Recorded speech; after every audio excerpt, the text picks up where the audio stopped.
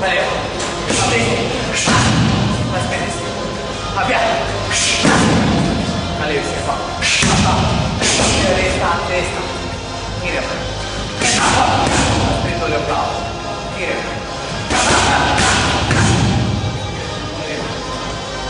A via. A pa. A dolje se. Dolje v glavo.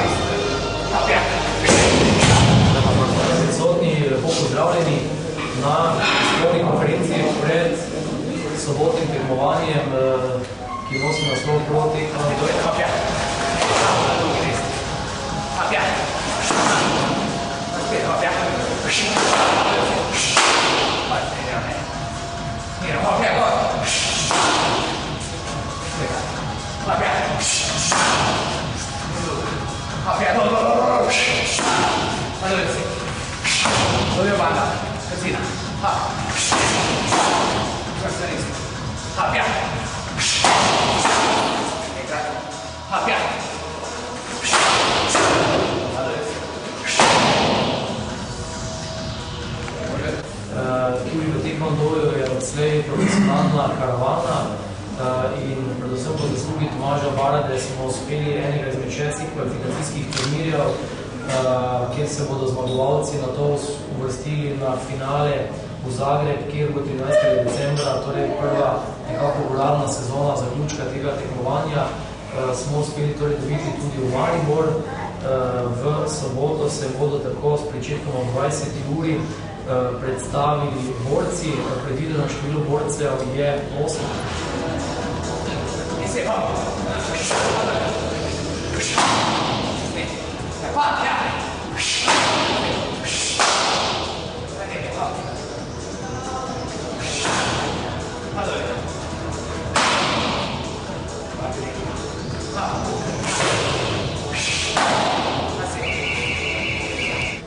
Osnovni podatki eh, o sedmih borcih, torej leta in pa eh, teže imate na papirju, sicer pa gre za odprto kategorijo, kjer se bodo v kvalifikacijskih nastopih eh, borili tekmovalci dvakrat po dve minuti do knockouta oziroma do eh, sodniških pač ocen. Zmagovalec eh, gre v naslednji krog, eh, finale bo pa potekalo eh, trikrat po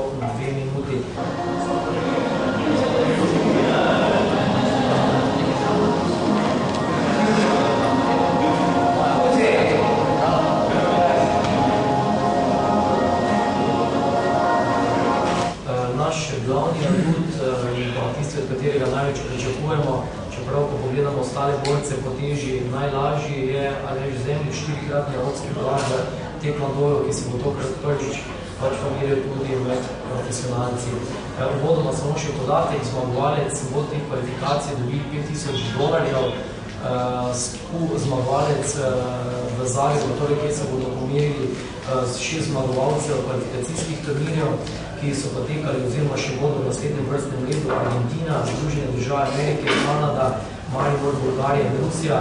Uh, tem zmagovalcem bomo pridali še lanskega zmagovalca in pa olimpijskega prvaka, Korejca, uh, tako da bo 8 borcev v Zagrebu, tam pa zmagovalec prejme 50 tisoč ameriških dolarjev. Uh, vstopnice še vedno so na voljo, uh, nekako v želji, da pritegnemo v dvorano ta večje število ljudi, smo vstopnice dali po 5 evrov za klopi in pa 10 evrov za uh, tribune.